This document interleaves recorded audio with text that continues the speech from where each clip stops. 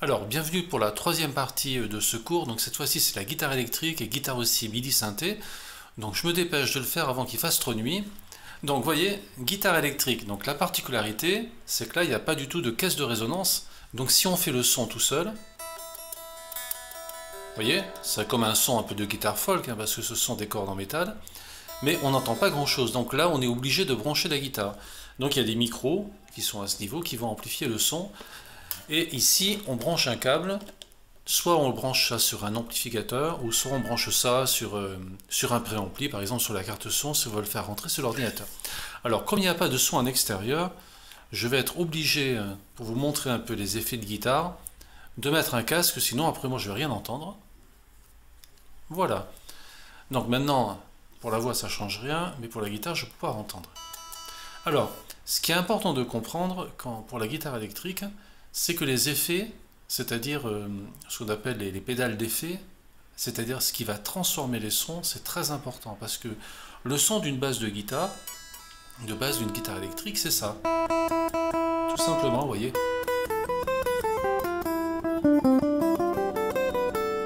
Ça, c'est le son. Toutes les guitares électriques, à la base, elles sonnent comme ça. Vous voyez, c'est un peu comme une guitare folk.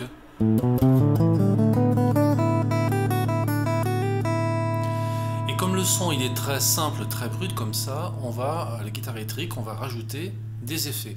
Alors, c'est euh, dans les cours suivants qu'à un moment je détaillerai tous les effets de guitare électrique, je vous expliquerai exactement comment tout ça ça marche, comment on peut les régler, ça sera pour plus tard, là je vous fais une petite démo euh, rapide pour vous montrer un peu les sons. La première chose qu'on va mettre d'abord sur un son de guitare électrique, comme c'est un son euh, qui est, euh, qui est fermé, qui n'est pas acoustique dans une vraie pièce, il va falloir recréer un peu une ambiance, une un espace, comme si on était dans une vraie pièce. Donc la première chose qu'on rajoute sur un son, c'est ce qu'on appelle de la reverb, ou éventuellement du delay, c'est ce qui va nous donner une réverbération, une impression d'espace. Je le rajoute.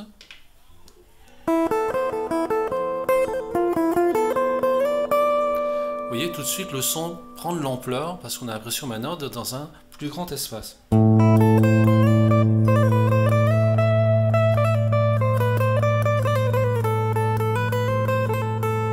Ça, c'est le premier effet qu'on rajoute sur une guitare, euh, un son de guitare électrique.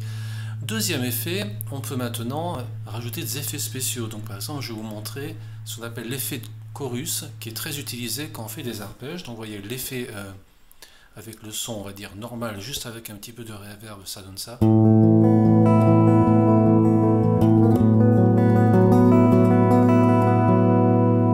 Et maintenant, je vais rajouter un petit peu de, de chorus.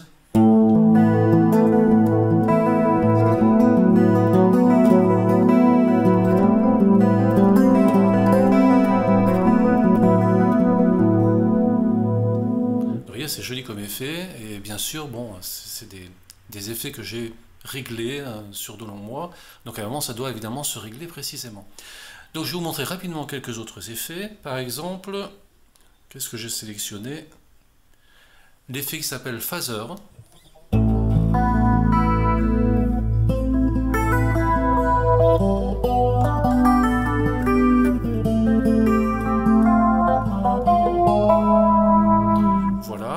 Un autre, je vais vous montrer un peu le son, euh, ça c'est typique, hein, ça s'appelle la wah ça.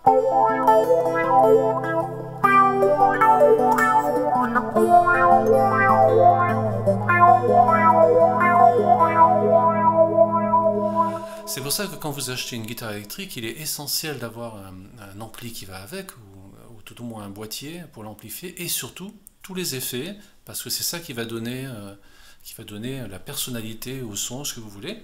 Et bien sûr, évidemment, on peut avoir aussi des effets un petit peu particuliers, par exemple comme ça.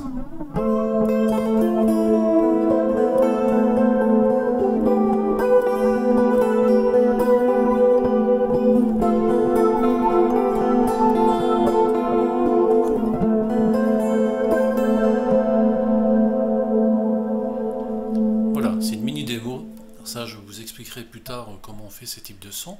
Et bien sûr, pour terminer, le son typique de distorsion, c'est-à-dire que le son va être amplifié de manière artificielle et distordue, quand à l'origine ça se faisait avec des amplis à lampe, maintenant c'est fait de manière numérique très souvent, et ce qui permet d'avoir le célèbre son de distorsion.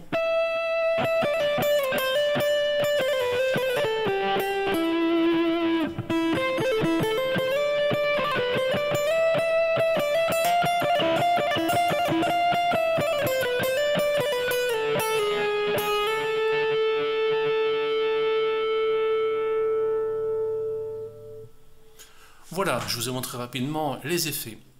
Alors, cette guitare a, quelque chose de particulier, c'est qu'en fait, c'est aussi euh, une guitare MIDI. C'est-à-dire qu'il y a la possibilité de rajouter un micro spécial, normalement on rajoute ça un peu sous les cordes, qui va capter le son et le transformer en impulsion MIDI pour piloter par exemple des sons de synthétiseur.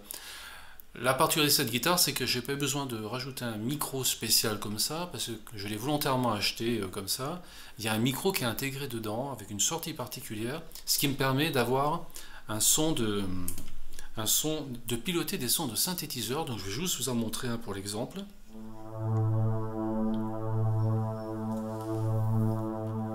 Donc vous voyez là, ça pilote un synthétiseur en fait. Hein. Et je vous montre un peu le son.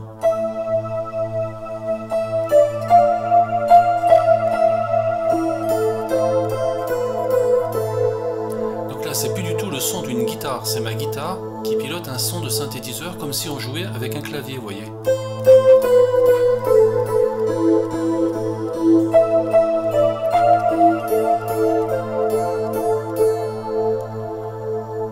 c'est intéressant, hein. on peut vraiment faire tout ce qu'on veut comme, comme son.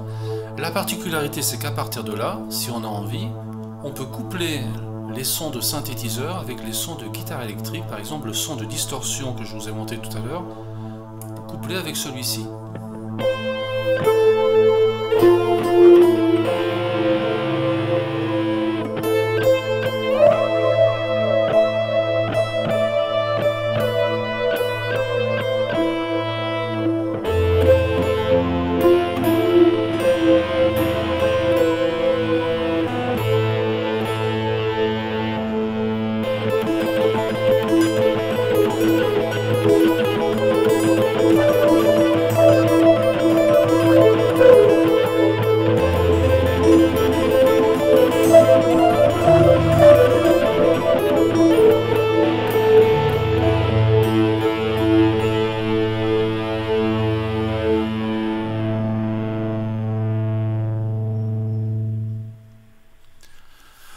Cette démo est terminée avec la lumière qui est en train de, baisser. Donc, petite précision, si vous avez vraiment envie, euh, que, vous soyez euh, adulte ou enfant, si vous avez vraiment envie de faire de la guitare électrique et aussi de la guitare MIDI synthétiseur, il ne faut pas vous obliger à faire de la guitare acoustique folk ou classique. Il faut acheter une guitare électrique et faire ça. Mais néanmoins, les bases de la guitare, les manières de poser les doigts, toutes les positions, c'est la même chose que ce soit pour une guitare électrique ou pour une guitare classique ou folk. Les bases sont absolument les mêmes.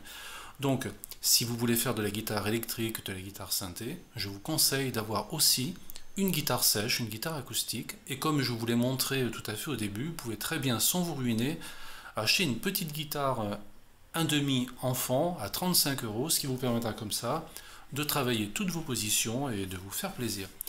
Voilà, ce cours numéro 1 qui est en trois parties euh, est terminé.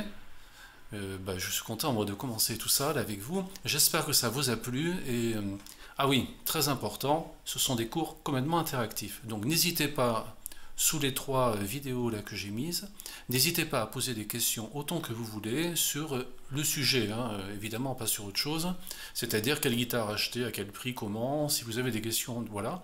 Je répondrai directement sous la vidéo, et si à un moment quelqu'un pose une question que j'ai l'intention de traiter en détail plus tard, dans ce cas-là, ben, je l'informerai et je la traiterai plus tard. Voilà, je vous embrasse à tous, je vous souhaite une super journée et je vous souhaite de grands progrès à la guitare. Ciao ciao